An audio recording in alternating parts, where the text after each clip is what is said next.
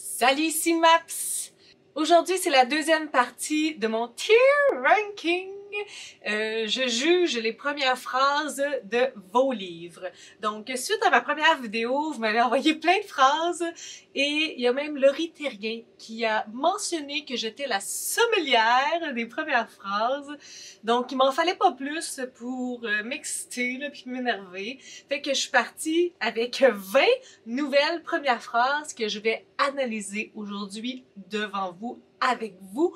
On va garder la même charte de tier ranking avec laquelle on est à l'aise maintenant. Hein? On part du Whippet Forêt Noire, the best of the best. La raclette, très très très très bon. Le café, hein?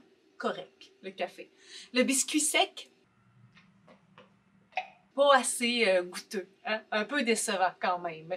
Et le piment cuit, l'abomination la plus euh, horrible du monde. Ça, c'est notre charte que l'on va utiliser pour le tier ranking de première phrase. Là, vous m'en avez envoyé une panoplie. Merci pour votre générosité. Il y en a qui sont en anglais. In English is gonna be difficult.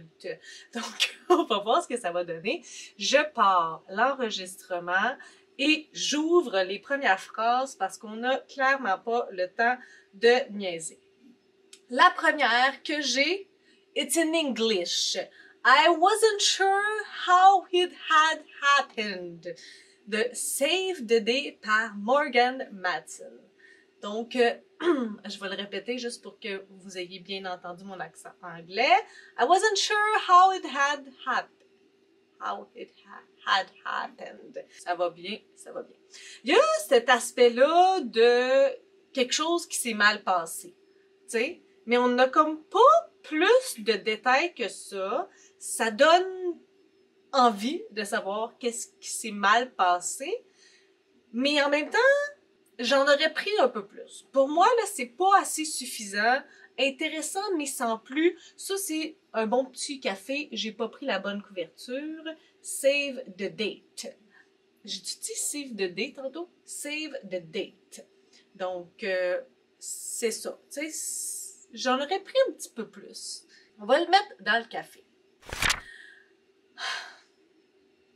La personne qui m'a écrit ça, là, savait très bien ce qu'elle faisait.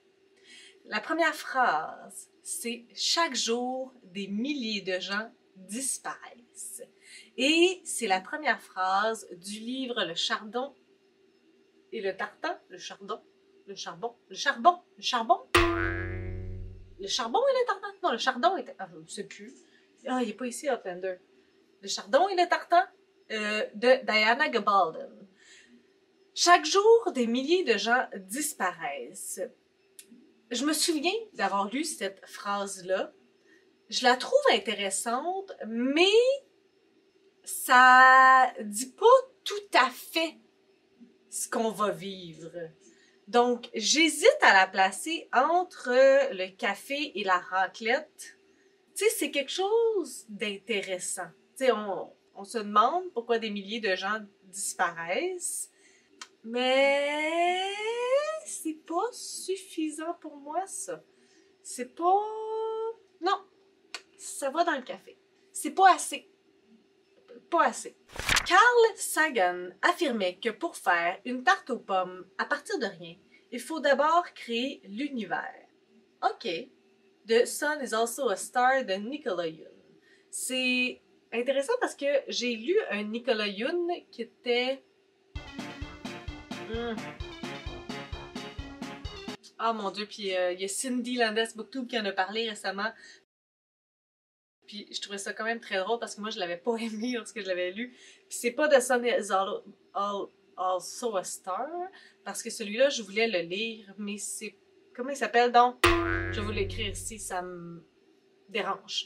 Euh, Carl Sagan affirmait que pour faire une tarte aux pommes à partir de rien, il faut d'abord créer l'univers. Effectivement. En même temps, une tarte aux pommes, c'est très bon. J'aime bien les tartes aux pommes, mais j'ai l'impression que cette phrase-là, elle n'a pas l'impact qu'on aimerait qu'elle ait La notion de l'univers, j'aime bien, mais encore une fois, est-ce que c'est moi qui est grumpy à soir, là? Mais encore une fois, là, je mettrais pas ça plus haut que le café.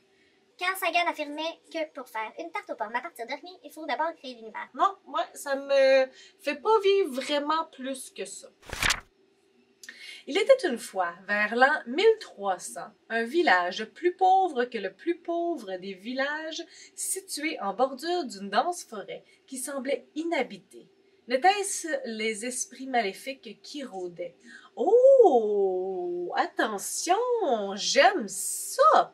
Il était une fois vers l'an 1300 un village plus pauvre que le plus pauvre des villages, situé en bordure d'une dense forêt qui semblait inhabitée. N'était-ce les esprits maléfiques qui rôdaient?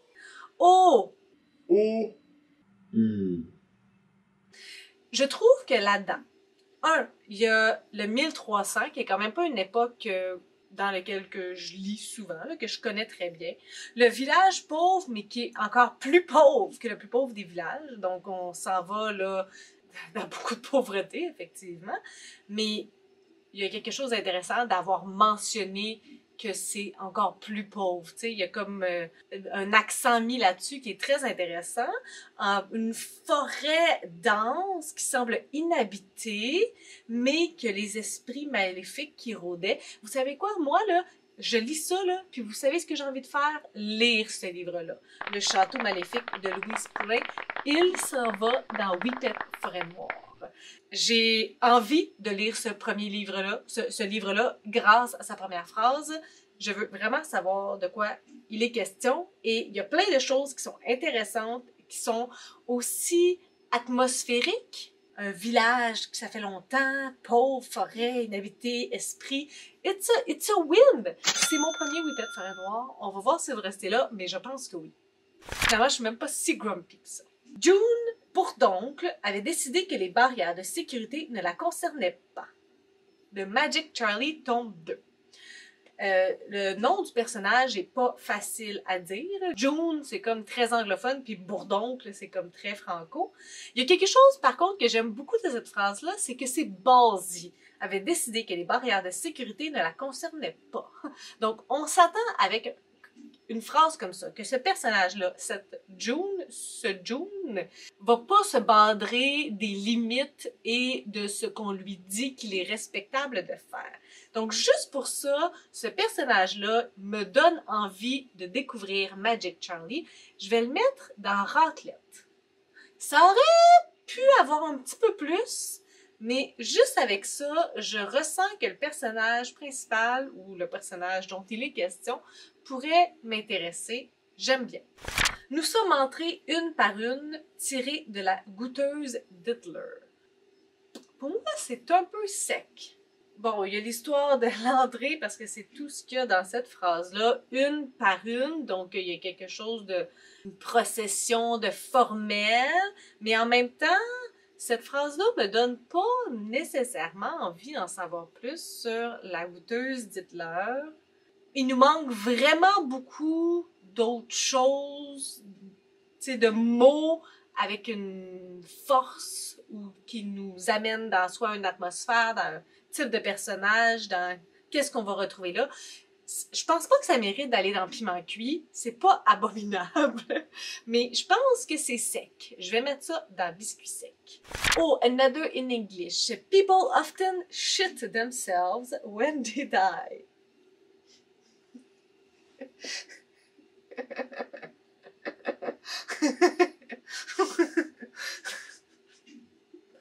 Ah!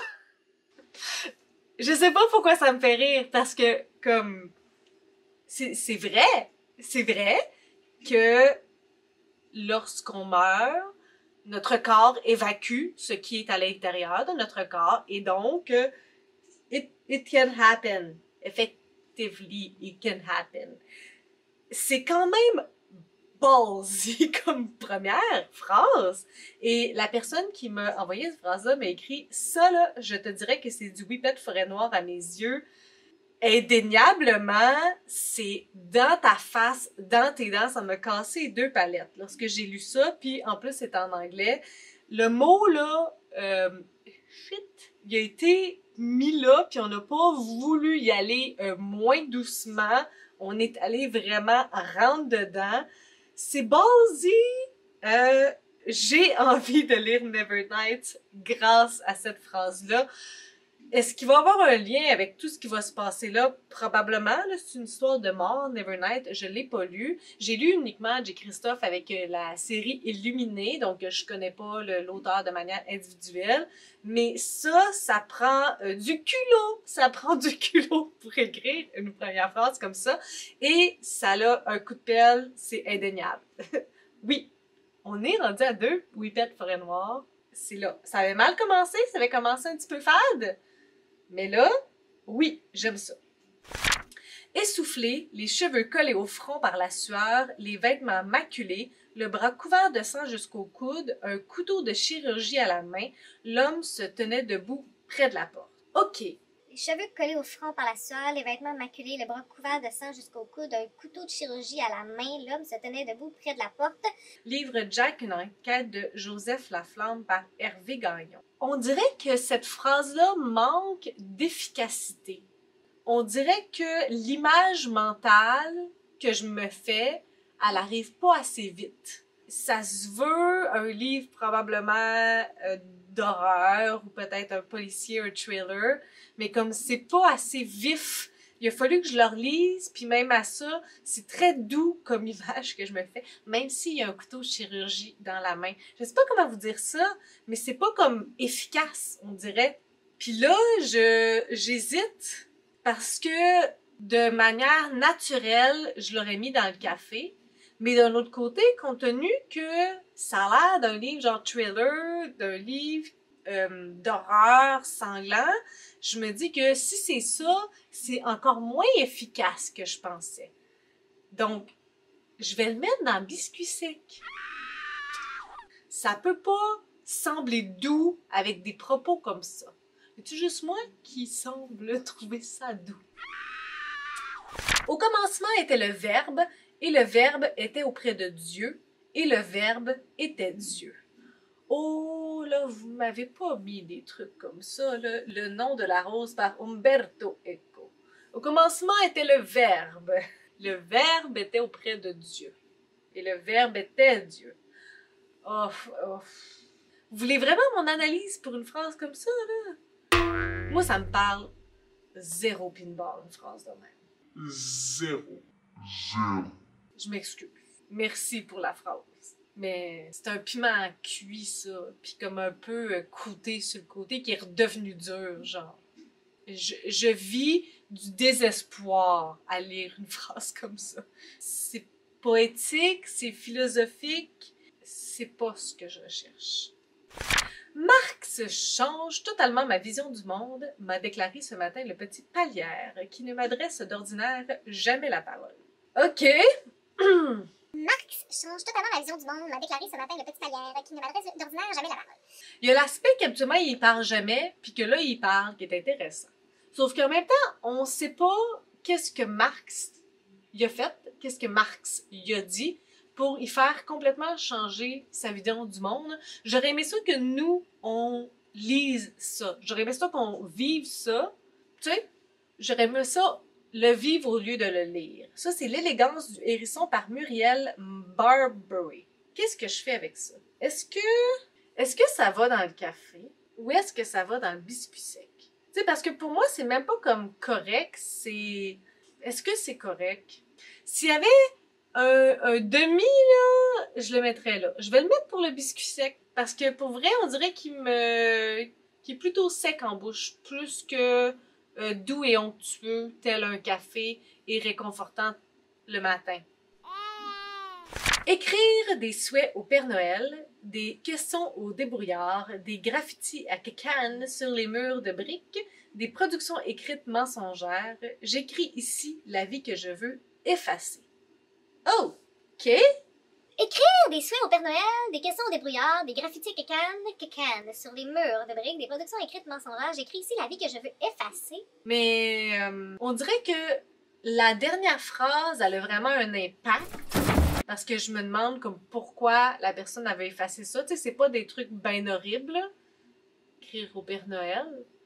Donc, il y a comme cet aspect-là qui me twiste un peu la tête dans le sens que je suis curieuse de savoir pourquoi elle veut effacer ça. Mais d'un autre côté, je me dis, comme, pourquoi tu veux effacer? Tu sais, il n'y a pas de, sentiment bien dramatique à tout ça. On n'a pas, je sais pas, ça me fait pas vivre vraiment des émotions. Je vais le mettre, ça c'était Burgundy, je pense. Euh, je vais le mettre dans café. Comme il y a un petit quelque chose, mais je suis pas certaine. J'entends des pleurs. Bébé appelle notre mère de sa chambre. Donc ça, c'est une phrase, euh, ma foi, assez simple. J'entends des pleurs. Bébé appelle notre mère de sa chambre. Donc, euh, j'imagine que c'est le frère, la sœur qui est le narrateur. Les pleurs amènent quelque chose, mais d'un autre côté, il semble pas avoir tant d'émotions. C'est pas fâchant que le bébé pleure. C'est pas lassant. Euh, ça manque un peu, pour moi, d'un peu d'épices. Ça manque un petit peu plus. J'entends des pleurs, bébé appelle notre mère de sa chambre. Mettre ça euh, un petit peu sec. Un petit peu sec. On aurait pu en mettre plus. On aurait pu avoir des mots plus chargés pour une phrase comme ça. Dites-moi que c'est pas normal d'arriver dans un bar et de saisir la gorge des autres, d'en inspecter les reliefs pour détecter la possible présence d'une pomme d'Adam. Ouh! Il y a quelque chose de très ben, j'allais dire violent, mais pas tant que ça. Mais comme qui rentre dans la bulle. Tout de suite, elle nous interpelle. Dites-moi que c'est pas normal d'arriver dans un bar et de saisir la gorge des autres, d'en inspecter les reliefs pour détecter la possible présence d'une pomme d'Adam. Donc, il y a vraiment comme une agression au début de cette première phrase-là. Je me sens attrapée là, par la gorge. Je trouve que ça diminue un petit peu dans son intensité euh, pour détecter la possible présence d'une pomme d'Adam. Donc, on imagine par la suite que c'est pour vérifier que c'est biologiquement un homme ou une femme, s'il n'y a pas de présence de pomme d'Adam. C'est la fille d'elle-même de Gabrielle Boulian. Je vais le mettre dans raclette. Je trouve que le début de la phrase est vraiment très fort, très sacoche. Ça descend un peu vite, mais pang! L'une des premières balles surgit par la fenêtre ouverte au-dessus de la cuvette des toilettes devant laquelle se tient Lucas. L'une des premières balles surgit par la fenêtre ouverte au-dessus de la cuvette des toilettes devant laquelle se tient Lucas. On dirait qu'il y a comme trop de mots. La cuvette des toilettes, ça rajoute quelque chose à l'efficacité de cette phrase. On dirait que ça diminue l'efficacité. L'une des premières balles surgit par la fenêtre ouverte au-dessus de la cuvette des toilettes devant laquelle se tient Lucas. Est-ce qu'il touche Lucas? Est-ce que ça... Est-ce que Lucas est en danger? La cuvette des toilettes? Ben, C'est vraiment pas euh, doux, ça, euh, à le dire comme ça. Là. Sûrement pas à le penser non plus. Hmm. American Dirt de Janine Cumin. Hmm. Un peu sec. Un peu sec. Le premier chapitre est coup de poing, mais j'ai dû l'ouvrir pour me rappeler la première phrase. Ouais. Les deux seuls romans dont je n'ai jamais oublié le début sont La bête à sa mère et La vallée des avalées avec respectivement Ma mère se suicidait souvent. Ça là, c'est la première phrase telle mentionnée ici de euh, La bête à sa mère. Et où? L'autre côté. Et je suis vraiment d'accord avec ça. Je suis contente qu'on ait déjà un Whippet Forêt Noire, en fait deux Whippet Forêt Noire, mais celui-là, définitivement que il irait là. Il irait là parce que ah, c'est pas la première phrase, c'est la phrase du prologue. La phrase du premier chapitre. Ma mère se suicidait souvent. La première phrase du, du prologue, c'est Vous avez trouvé le cadavre. Qui est quand même euh, intéressant. Moi, euh, les mentions de mort. euh, mais ma mère se suicidait souvent, c'est vraiment une phrase que je trouvais punchée parce que forcément, tu peux pas te suicider plus qu'une fois et réussir. Oh, là, ça devient deep, on va arrêter ça. Première phrase du prologue. Un cri strident résonne jusque dans sa chambre et le tire du sommeil. J'aime ça parce que tout de suite, un cri strident résonne jusque dans sa chambre et le tire du sommeil. Il y a un peu quelque chose d'évident que ça va le réveiller. Donc, je dirais pas jusqu'à Whippet Forêt Noire, mais j'aime ça. Un cri strident résonne jusque dans sa chambre. Bang! C'est là que j'aurais arrêté. Et le tir du sommeil. Je vais mettre euh, la phrase, première phrase du chapitre 1. Ah, ok, plus la première phrase du chapitre 1. Envoie, avance, hostie de vieux singe. Les fils d'Adam de David Bédard. Envoie, avance, de vieux singe. Quand même drôle. Ça aussi, j'aime ça. Pour les deux, je pense que je mettrais raclette. Mais la première phrase du chapitre 1, là, me ferait... hmm, Non, on va rester à raclette. On va rester à raclette. Mais j'aime bien. Aucun mystère ne résiste à celui qui l'approche avec la raison.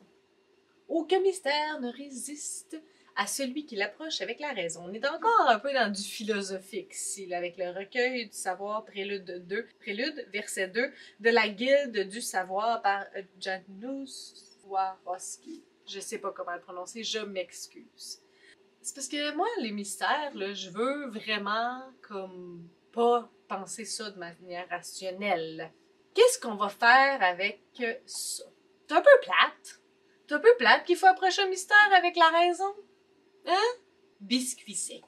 Un, euh, avant que je rentre dans la phrase de Karine, ce que je, trouve très intéressant et qu'elle a trouvé très intéressant, c'est que dans ma première vidéo du tier ranking, j'avais placé là où je mettais haut et j'avais placé euh, 365 jours plus bas et elle pense que ça correspond pas mal à ce que serait mon opinion si je les lisais au complet pour vrai. Est-ce que je suis en train de développer la science de la première phrase? C'est bien possible. Alors, sa phrase, c'est Ado, j'ai passé plus de temps à rêver ma vie qu'à la vivre, de rentrer son ventre et sourire. Oh, ça, ça parle beaucoup quand même. C'est fort, ça. Comme j'ai senti des frissons tout de suite. Ado, j'ai passé plus de temps à rêver ma vie qu'à la vivre. Même en tant qu'adulte, j'ai encore eu des frissons. Je relate. Je le vis. Je le vis beaucoup. Est-ce que ça s'en va au whippet? Je vais le mettre à la raclette. Indéniablement. Une raclette élevée. Une très bonne raclette. Mais très fort, très fort. Another in English. Those who dream by day are oh, of many things that escape those who dream only by night. Ok, puis là, il y a une, une traduction. Ceux qui rêvent éveillés ont connaissance de mille choses qui échappent à ceux qui ne rêvent qu'endormis. Merci pour la version en français parce que, euh, ouais, c'est ça. Hein, les mots en anglais, là, les mots savants, ça, ça marche pas. Ceux qui rêvent éveillés ont conscience de mille choses qui échappent à ceux qui ne rêvent qu'endormis. Il y a quelque chose de très très beau dans euh, ça, de Edgar Allan Poe, de Eleonora. Et ça, c'est tiré, c'est la première phrase euh, du livre Les Chroniques de Navangarde. Révélation par Marie-Jeanne Chaplin-Corriveau. Mais c'est beau, c'est beau parce que on a l'image tout de suite. Ceux qui rêvent éveillés ont connaissance de mille choses qui échappent à ceux qui ne rêvent qu'endormis. Il y a quelque chose de vraiment très doux, très beau là-dedans. J'aime ça. Euh, je vais mettre ça dans la. C'est meilleur que du café, ça. Oui, j'aime, euh, j'aime beaucoup l'image. J'aime beaucoup ce que ça m'inspire. C'est philosophique, mais compréhensible. Il nous en reste deux. Ash fell from the sky. Donc, des cendres euh, ont, tombé, hein, le temps du verbe, tombait euh, du ciel. C'est quand même...